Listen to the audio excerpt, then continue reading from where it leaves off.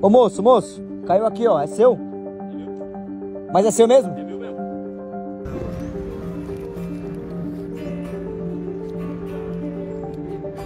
Moço, moço, esse dinheiro aqui no chão é seu? Ô, moço, não é meu não. Não é seu?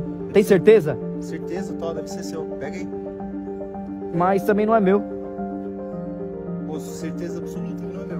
Tá, eu vou fazer o seguinte, eu vou guardar e vou ver se tem alguém passando procurando algum valor aqui. Inclusive o valor é altíssimo, né?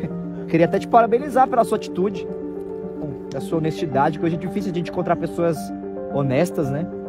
E de quem que você herdou esse ensinamento, cara? Cara, obrigado, mas eu acho que isso é o mínimo, né? Entendi. Isso aí. Cara, isso aí eu sempre aprendi desde criança com a minha mãe, tá ligado? Sua mãe. Minha mãe sempre falou que o que não é meu, eu não pego, tá ligado? Mesmo que eu ache na rua assim, cara, eu não acho certo, por exemplo. Às vezes a pessoa acabou de passar e, às vezes é o dinheiro que a pessoa precisa Entendi. e às vezes eu pego uma coisa que não é minha, tá ligado? Entendi. Independente do que seja. Mas Entendi. é isso. É, hoje tá difícil a gente encontrar pessoas com tanta honestidade assim, né? É, hoje tá complicado. As pessoas hoje, se fosse outra pessoa, com certeza tinha pego o valor, tinha saído correndo, tinha, sei lá, tinha mentido dizendo que era dela, né? Mas parabéns pela sua atitude, viu? Obrigado. Como é que você chama? Sou Pedro. Ô Pedro, pra, prazer. Eu sou Leonardo, Pedro. E eu queria te parabenizar mesmo, de verdade. Hoje é difícil a gente encontrar pessoas assim, viu, Pedro? Você faz o que hoje, Pedro? Cara, eu sou músico. Você é músico? Eu sou- trabalho com música. Entendi. Mas você tá há muito tempo assim, trabalhando com música, assim? Quatro anos. Quatro Trabalho- anos trabalhando com música? Trabalhava numa empresa. Aí, cara, eu tinha o sonho de ser músico. Tá Entendi. ligado? eu fui juntando meu dinheiro pra comprar meus equipamentos. Já tocava desde adolescente. Entendi, Aí, cara, eu me joguei aí e tô até hoje. entendi. Aí hoje você vive só de música hoje? Graças a Deus, vivo só de música. Entendi. É, e hoje, assim, como é que tá, assim, o mercado musical, assim? Dá pra fazer algum dinheiro, alguma coisa, assim? Tá fraco? Cara, eu tenho alguns lugares fixos que eu toco, só que eu não tô conseguindo mais tocar, porque foi sexta-feira passada. Entendi. Eu tava saindo de um bar que Certo. eu toquei, Sim, aí eu fui no banheiro e tal, já tinha terminado o show. Aí eu tinha deixado meu violão perto do, do balcão e os, os meus equipamentos ficaram lá. entendi. Eu fui no banheiro, quando eu voltei, o cara levou, levou minha caixa de som e minha mesa, tá ligado? Entendi. Mano, só aí já dá uns 4 mil. Aí eu não tô conseguindo Nossa. tocar, tá ligado? Eu tô tendo que ficar na praça pra ver se eu consigo juntar grana até eu conseguir comprar meu equipamento de novo. tá? Entendi. Tá cara. Ô Pedro, eu tô morrendo de fome, cara. Eu queria saber se você não pode ali comprar alguma coisa ali pra eu comer. Você tem um dinheiro aqui dentro dessa sacola aqui? Que é de umas esmolas aqui que eu ganhei aqui na praça aqui. Você pode ir lá comprar pra mim, por gentileza? Por favor. Demorou, beleza. Você pode segurar meu violão? Vou, vou Tá, lá pegar. Tá bom, eu seguro sim, pode deixar. Isso aqui é, que é um lanche, né? Isso, por favor. Obrigado, hein?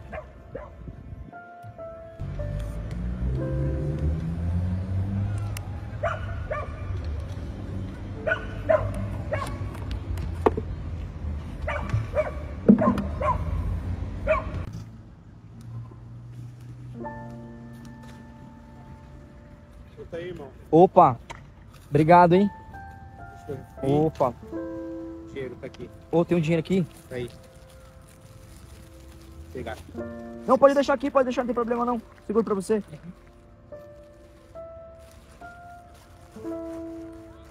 Você não quer sentar? Senta aqui um pouquinho aqui pra gente comer um lanche junto aqui. Ó, pega um aqui, ó. Sério? Sério? Pô, valeu, cara. Obrigado.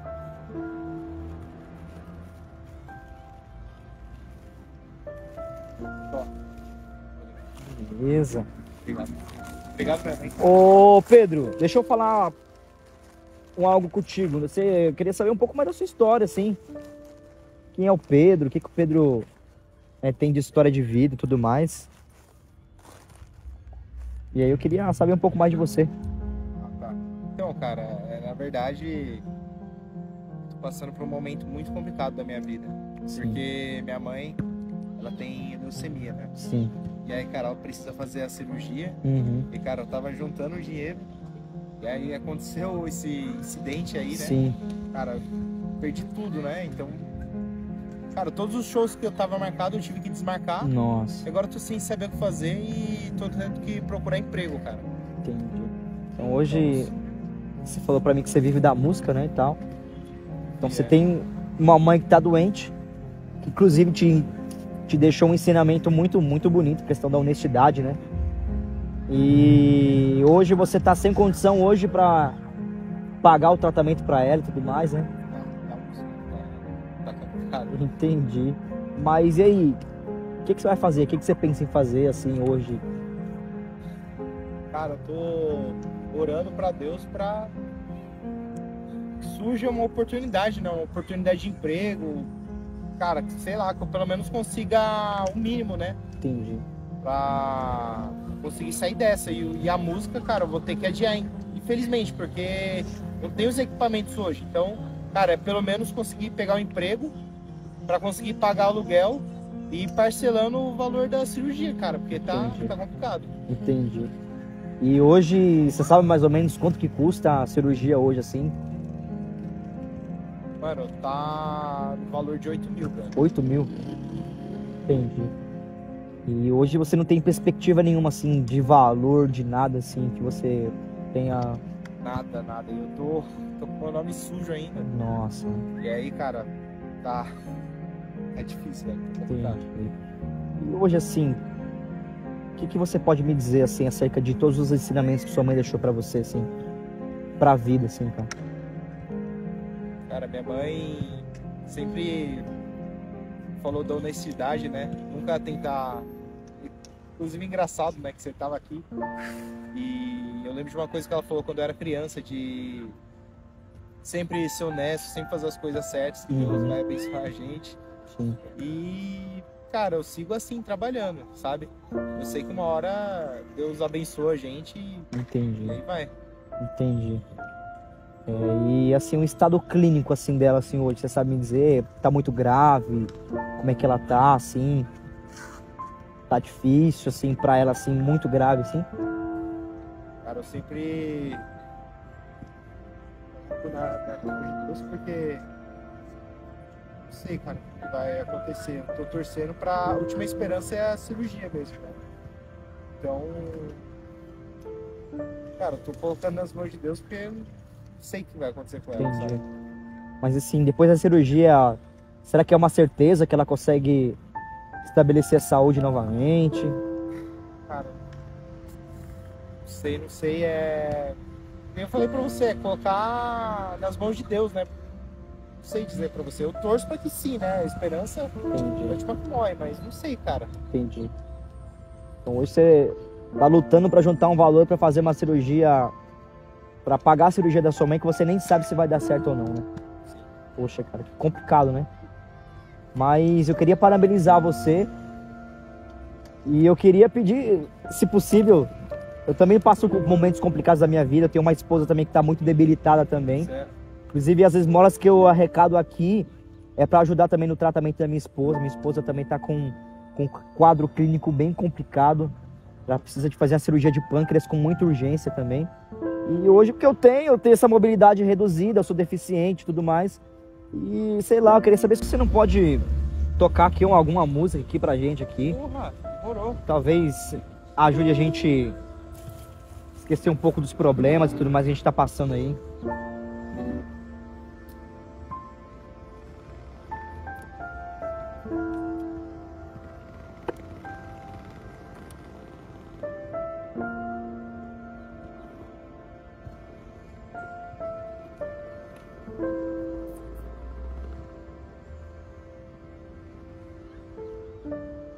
Esqueceu, mano.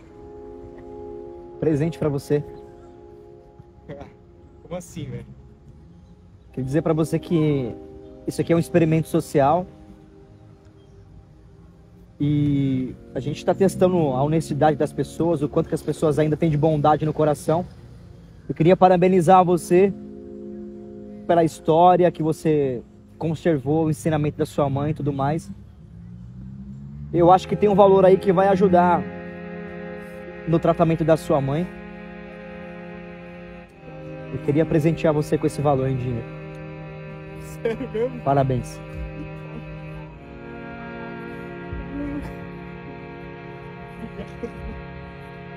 Eu nem sei o que falar. Mano, é sério isso, é velho? Você não tá zoando? Não tô zoando. Como assim, velho? Mano, não acredito, velho. Obrigado, Deus. Mano, não tô acreditando, velho. Acho que tem valor suficiente para você comprar também o restante do equipamento que foi levado seu. Você vai poder voltar suas atividades da música e tudo mais. E te ajudar no tratamento da sua mãe também. A cirurgia. Parabéns, viu? Obrigado, Você merece. Obrigado. Você merece, viu? Parabéns, que você continue com esse coração bondoso, coração generoso, coração humilde. Eu tenho certeza que a sua mãe ela vai vai passar por esse processo de dificuldade. Inclusive também a gente conhece alguns profissionais da saúde também. Eu queria também pedir para que eles possam dar uma avaliada na sua mãe.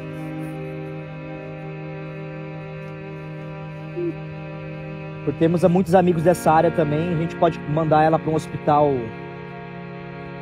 mais sofisticado, com um tratamento mais qualificado, com profissionais que possam ajudar ela a passar por esse processo de dificuldade aí. E eu creio, se Deus quiser, sua mãe vai vai estar bem, vocês vão estar juntos em família. Parabéns, viu, pela sua atitude. A gente sabe que bondade gera bondade. Parabéns. Você merece.